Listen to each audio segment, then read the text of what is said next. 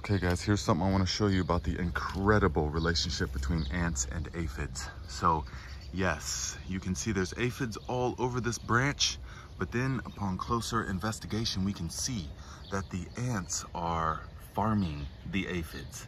So they keep them here like this, and then they move them around, and as they start to hatch, they move them to another location, and then they eat them. And so they do this day and night, all summer long. They're everywhere. You see all these aphids? Now, these would not be here like this without the ants. So yes, the ants do control the aphid population, but they do not get rid of the aphids because they are farming them, kind of like us and cattle in a way. So there is the answer, yes. The ants do control the aphids, but they are never gonna rid your garden of them because that is their food supply.